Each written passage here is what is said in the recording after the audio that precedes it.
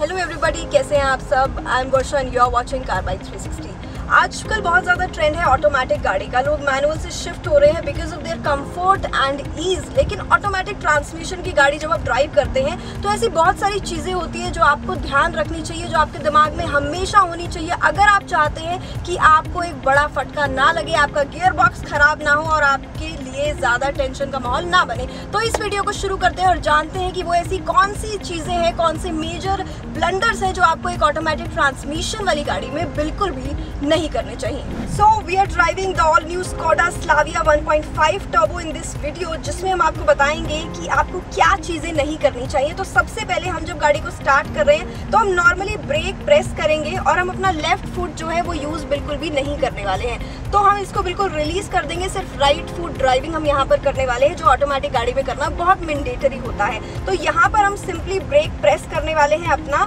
और यहाँ पर ये आप देख सकते हैं जो हमारा गियर बॉक्स है, यहाँ पर हम इसे प्रेस करेंगे और इसे सिंपली ड्राइव मोड में डाल देंगे। और अब यहाँ पर हम ब्रेक को रिलीज़ करेंगे और यहाँ से हम अपना एक्सेलरेशन स्टार्ट कर देंगे। तो सबसे पहली चीज़ जो आपको नहीं करनी है वो ये है कि आपको गियर्स को शेक नहीं करना है। यहाँ पे जो गियर बॉक्स आपका है, यहाँ पर इस लीवर को आपको शेक नहीं करना है मैनुअल की तरह बिकॉज़ इससे आपका ट्रांसमिशन जो है वो गड़बड़ा सकता है। दूसरी चीज़ आपको यहाँ पर क्या नहीं करनी है कि अगर आपको अपने ड्राइव मोड्स को यहाँ पर चेंज करना है, जैसा कि आप देख सकते हैं, यहाँ पर आपको पार्किंग मिलेगा रिवर्स मिलेगा ड्राइव मोड मिलेंगे, जिसमें स्पोर्ट भी आपको मिल जाता है।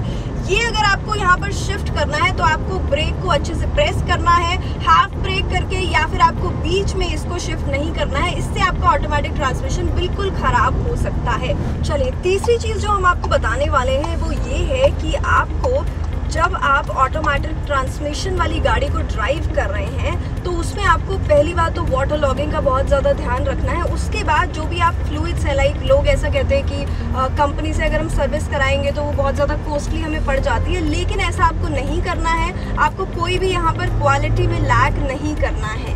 तो फोर्थ पॉइंट है कि जब भी आप ऑटोमेटिक गाड़ी को चला रहे हैं, अगर आप रेड लाइट पर हैं और आपका, आप चाहते हैं कि आपका फ्यूल कंजप्शन ज़्यादा ना हो तो आपको रेड लाइट पे ब्रेक प्रेस करके खड़े नहीं होना है, उससे आपका फ्यूल ज़्यादा कंजप्ट हो सकता है। आपको क्या करना है? आपको सिंपली अपना जो ड्राइव मोड है, उसको पार्क कर देना है या फिर उसको न्यूट्रल कर देना है। अगर आप एक रेड लाइट पर, एक लंबी जगह पर अगर खड़े हुए हैं।